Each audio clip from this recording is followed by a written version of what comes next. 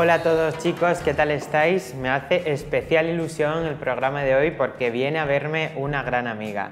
Viene a vernos Paula Ordovás, ¿qué tal? Muy bien, feliz de estar aquí contigo y con todos vosotros. Bueno, muchas gracias por venir, que sé que estás un poco a tope, ¿no? Acabas de llegar de viaje, pero bueno, has sacado un ratito para hacer este cóctel que has elegido, un mojito de sandía sin alcohol. Eh, cuéntanos un poco por qué has elegido este cóctel.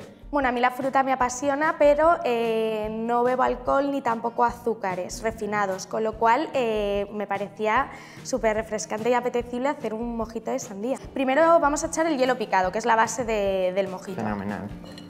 Lo he hecho yo, ¿no? Sí, lo que veo, ¿no? Vale.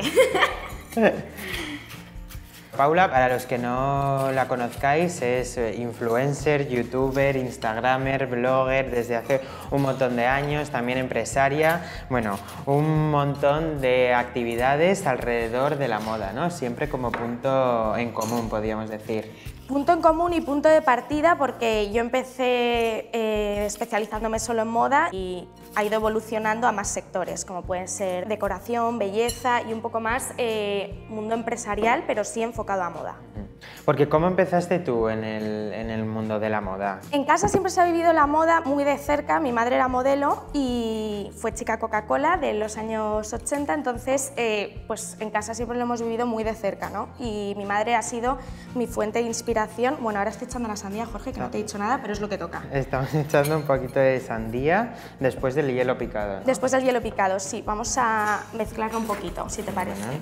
Yo sabía que quería dedicarme al mundo de la moda más enfocado en comunicación. Estudié periodismo y estando en cuarto de carrera hice prácticas en, en Vogue, en México y Latinoamérica, pero me di cuenta que no era lo que yo quería hacer. Yo soy una chica que no puedo tener horarios, que necesito pues un poco más eh, libre albedrío dentro de, de, Una chica moderna y un poquito rebelde, ¿no? Bueno, si quieres así.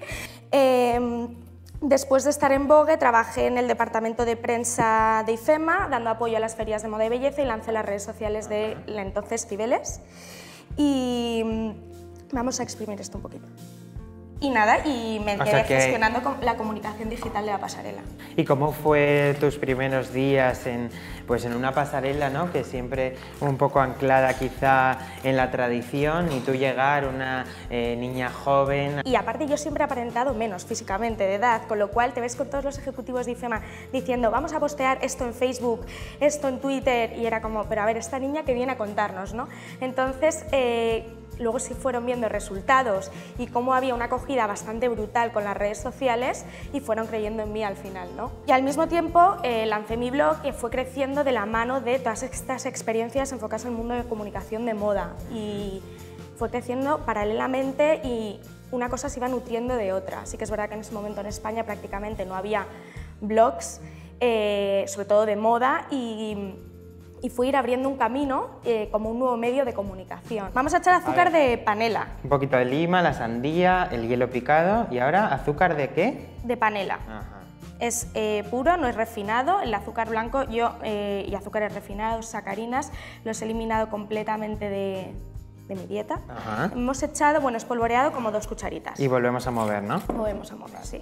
¿Y en qué momento te das cuenta tú, Paula, que tu vida pues, está cambiando, que te estás convirtiendo en una influencer? Bueno, a los yo creé el blog en 2009, entonces eh, ha cambiado muchísimo, por supuesto. Sí que es verdad que ya no solo la gente de fuera, sino en casa, tú decir que te dedicabas a tener un blog, pues mm, tus No padres sabía, al final se asustaban un poco, ¿no? Como, pero ¿a qué se va a dedicar esta niña? ¿A tener un blog y...? ¿Qué profesión es esa? Claro, entonces eh, yo sí colaboraba con algunos medios eh, y luego creé mi propia empresa de comunicación enfocada al digital, entonces tenía eso y bueno, mis padres estaban un poco más tranquilos de ver que el blog era como algo más, que al, fin- al principio era un hobby, Hobby. Y, y más cosas que me gustaban, hablaba de lo que quería, para nada hubiera pensado que hoy iba a ser una, o sea, mi profesión. ¿Qué más nos hace falta para, para terminar el cóctel? Bueno, vamos a usar gaseosa, que no tiene azúcar tampoco. Y tiene un pintón esto, no es por nada, ¿eh? Yo sé que tú quieres probarlo ya. Lo cubrimos un poco hasta terminar. Sí, y vamos a echar eh, hierbabuena, ¿no? Ah, También. Fenomenal. Las tres hojitas en cada uno. Bueno, realmente lo he hecho yo, Jorge no ha hecho nada. no Yo he seguido tus pasos, que eres la especialista, en, porque eh, a día de hoy tu mundo healthy se ha convertido ¿no? Eh, también en un, sin ninguna duda, en una vida a seguir para todas tus seguidoras. Pues efectivamente, yo empecé, bueno, quiero poner un poco de decoración eh, aquí, pero creo que me vas a tener que ayudar. Ah, mira, ya tenemos aquí una cortadita, mírate bien, fenomenal. Efectivamente, hace cuatro años el deporte dio un vuelco a mi vida. Sí que es verdad que las redes sociales y todo lo que se publica eh, desde fuera siempre parece más bonito y al final enseñas la parte más atractiva, ¿no? Pero eh, es muy estresante también y al final estás expuesta constantemente. Entonces ese estrés conseguí liberarlo con el, el deporte. Nosotros, como veis, hemos terminado poniendo un poco de decoración, un poco de lima, unas esto. fajitas de color, una decoración y nada, pues vamos a pasar a tomárnoslo tranquilamente a nuestro saloncito y continuamos hablando, chicos. Just for a second, let me hold you tight.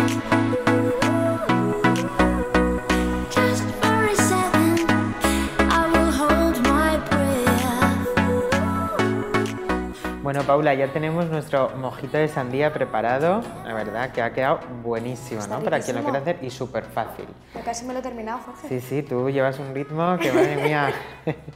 bueno, me estabas contando un poco eh, tu vida en el deporte, ¿no? Que se ha convertido en algo fundamental para ti.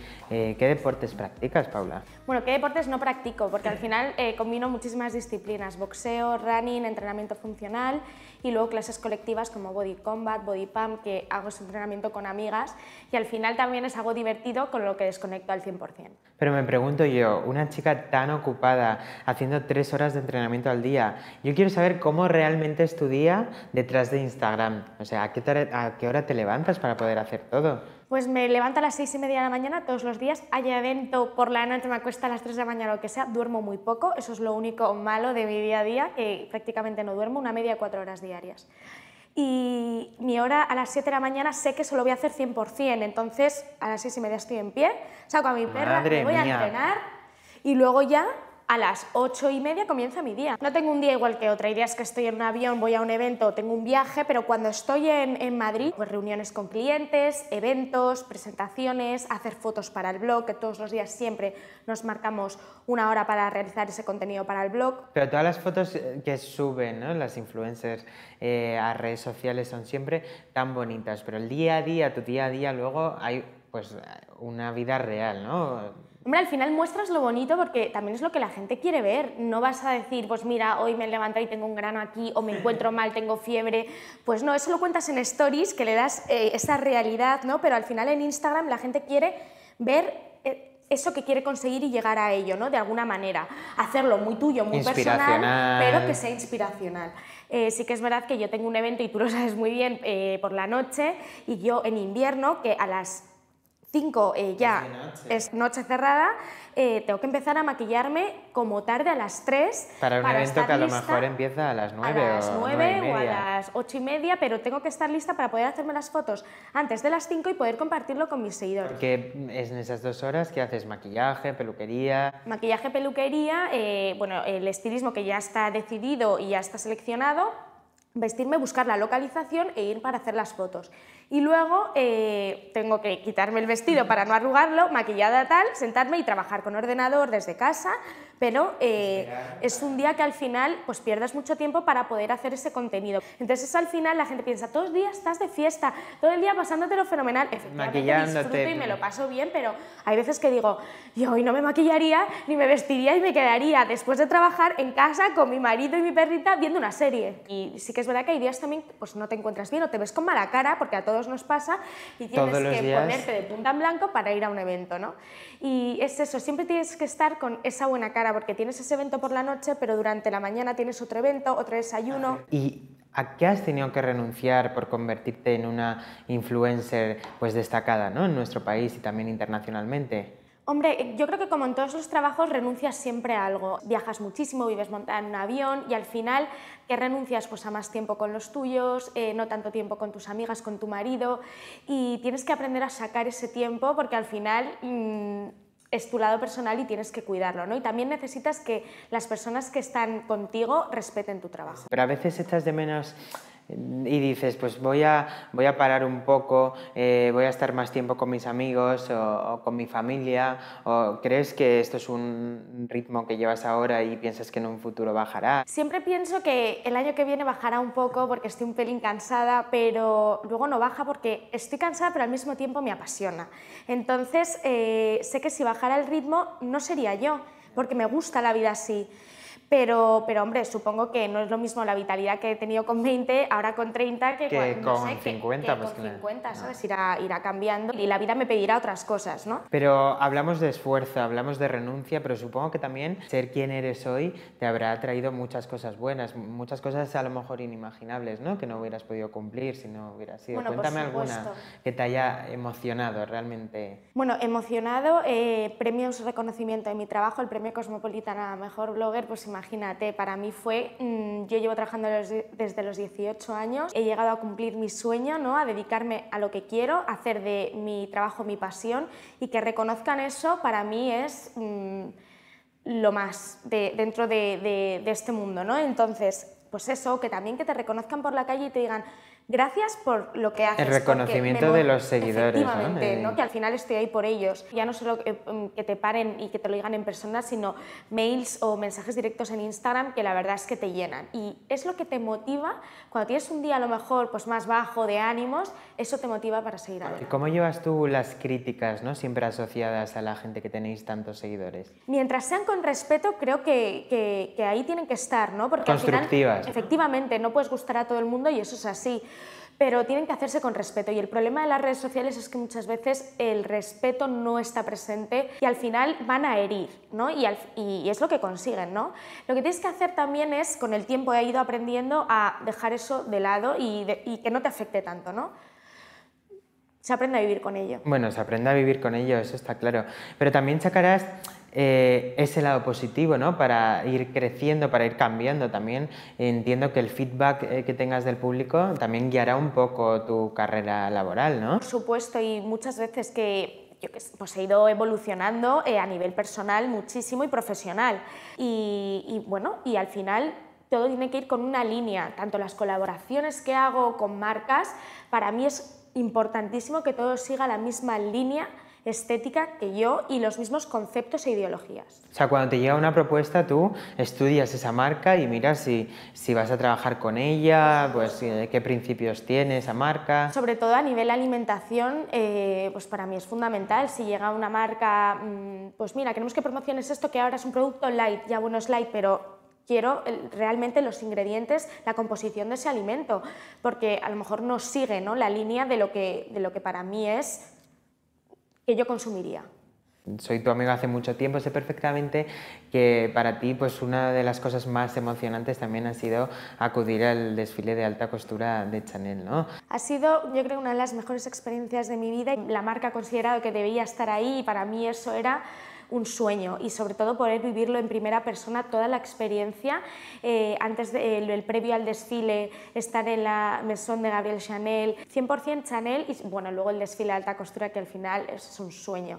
Y con tu más de un millón de seguidores en, en todas las redes sociales a día de hoy, ¿qué proyectos te planteas? ¿En qué estás ahora? ¿Qué en un futuro? ¿Con qué nos vas a sorprender? Este mundo te, te pide que te estés reinventando constantemente, ¿no? Y aparte, tú si no, yo- en mi caso personal, me aburro muy rápido de hacer todo el rato lo mismo. Por eso siempre busco algo nuevo, de hablar solo de moda, deporte, decoración, viajes y que vaya evolucionando conmigo. Y ahora, por supuesto, estoy trabajando en un proyecto que llevo muchos meses trabajando y que tú conoces porque eres parte de él. Lanzo mi, mi propia tienda online, una tienda que va más allá de la moda, es un poco todas esas cosas que se identifican conmigo, como hablaba, moda, decoración, eh, gastronomía enfocada al fitness, cosas que me apasionan y que van a estar al alcance de todos eh, a golpe de clic.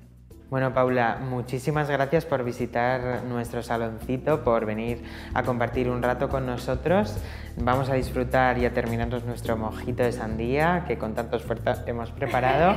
Y a vosotros os espero aquí muy pronto con nuevos personajes para conocerlos un poquito más.